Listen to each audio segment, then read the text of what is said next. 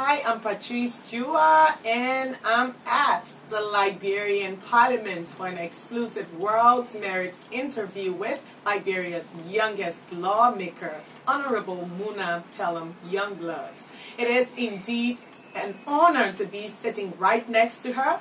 I've known her for years, and I believe that she's of merit because she epitomizes what every young woman should strive for coming from the world of entertainment, uh, pageantry to now the youngest lawmaker of the Republic of Liberia. It's indeed an honor to be in your company today. Thank you very much, Patrice. I haven't seen you for a long time. I've been very busy as a fashion designer, writer, and currently the media relations manager at Cellcom Telecommunications. But we are doing our own thing in our own little way, but we're looking up to you all as the big people in our country. Oh. Yes. Well, welcome to my office, and um, with the opportunity that the World Merit has given a platform where uh, young people can discuss their success and others can be able to listen and see and emulate our example.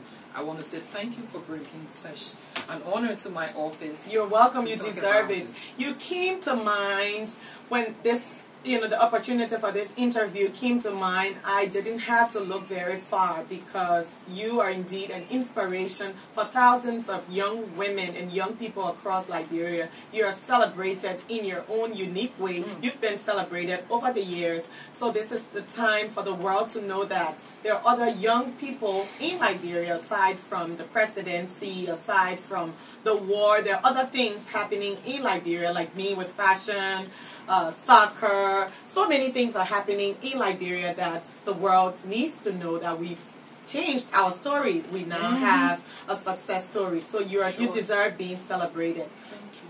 Thank you But so today I would like to ask you, what's your big year, or what was your big year? Well, let me say in my lifetime, I will consider 2011 as my biggest year. What am I saying? In 2011, specifically on October 11, I was officially elected by the Liberian people to serve at the level of the national legislature as Liberia's youngest politician ever in the history.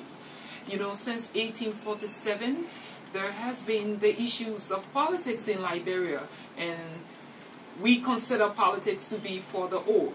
Uh, but then, seeking for generational change, and we came into the process, and we were given the opportunity in 2011. And today, I'm here at the legislature, so I consider 2011 to be my year of success and my big year. Wow, that's she's so inspiring. I mean, this woman exudes so much confidence, enthusiasm, and passion. So, uh, I would like to ask you the importance of what you're doing now, the importance of your role now, and how the different shoes that you wear and the different things that you juggle, being in your position as a representative. Well, okay, my role specifically, I have oversight responsibility. I make laws, I repeal laws.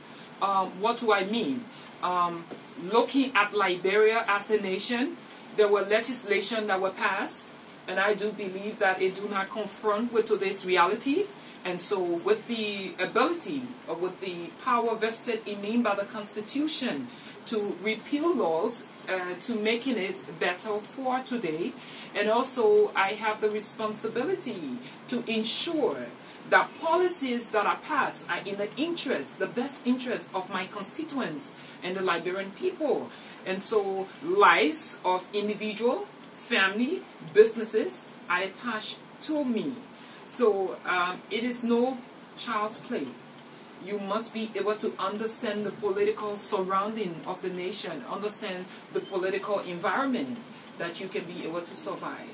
So the specific importance of this job is the oversight, making sure that when the laws are passed, the judiciary branch of the government should be the one to interpret the law. The oversight also runs to the executive that carry on the execution of what we, the Liberian people, want. Because every one of us that have the opportunity to serve at this position, um, we have been elected by the people, so we are the voice of the people. So we make sure that everything is in, in line. Wow, I'm feeling all patriotic right now. I, I mean, I'm almost singing the national anthem. Well, it's this woman is very, very hardworking, and uh, that brings us to my next question.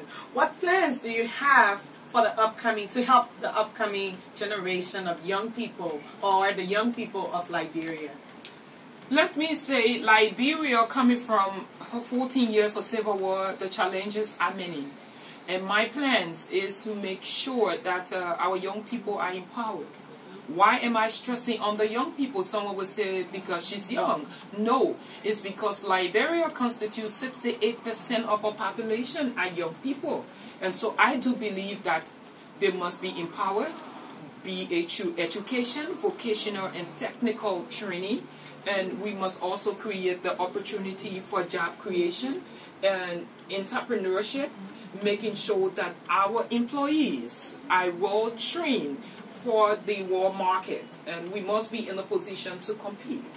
I also do believe that we must be able to create the platform for Liberia to be sustainable. And I do believe that sustainability for this nation will help the young people of Liberia, be it through agriculture, mining, um, technical, the industrial part of Liberia has to develop because we as a nation cannot always be a nation donated to. Liberia has to get to the point where she can be able to donate to other nations. And so this is my plan, this is my focus, that young people would have the opportunity to work, to earn, to become dependent to become independent instead of being dependent. And so we are pushing forward to making sure that the family orientation, building families, because we have an issue here of single parenthood. And so in order for a nation to be strong, the people of the nation has to be together. They must understand the essence of family building.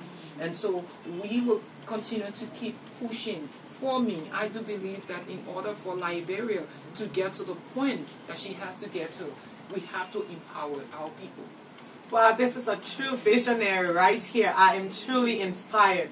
Uh, what are your words of inspiration for young people out there who've been watching you closely and would like to walk in your footsteps? What do you have to say to them? Well, the first thing I would say that I've always used as my word of inspiration that tough time never lasts, but tough people do last. Regardless of the condition, the circumstances that you find yourself as an individual, you have to rise up above that circumstances. So tough time never lasts. But when you are a tough person, you do last. And then every other thing becomes history. But I want to say to you, in everything that you do, you have to be focused. You have to be determined. Determination perseverance and persistency should be the hallmark.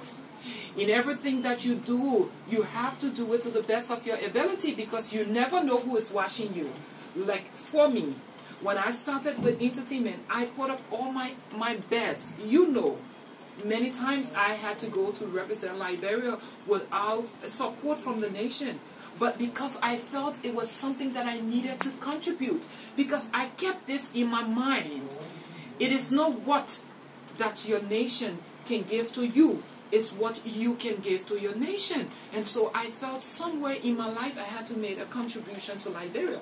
So when I decided to enter into politics, society already knew that for every time I come to a particular process, I come to it with my best. So the opportunity was given to me to serve. But I want to say to you, if I can do it, so can you.